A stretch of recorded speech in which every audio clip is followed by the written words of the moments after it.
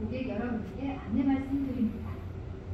우리 역에서 마스크 미착용 시 감염병 예방법에 따라 10만 원의 과태료가 부과될 수 있어 대합실, 승강장, 열차 내에서는 질병관리청에서 권고한 마스크를 착용하여 주시기 바랍니다.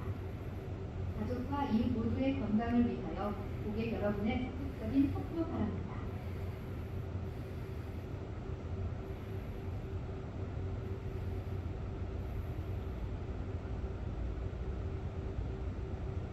마스크를 이용 시 마스크는 코와 입을 완전히 감고 1 8 0 0